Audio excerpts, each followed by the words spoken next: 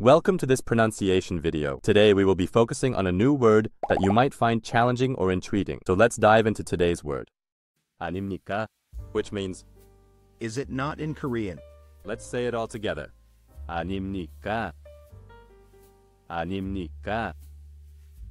아닙니까? One more time. 아닙니까? 아닙니까? 아닙니까? Thank you for joining us on this adventure in pronunciation. Remember, language is a journey, not a destination. Keep exploring, experimenting, and expanding your linguistic horizons. We'll see you next time.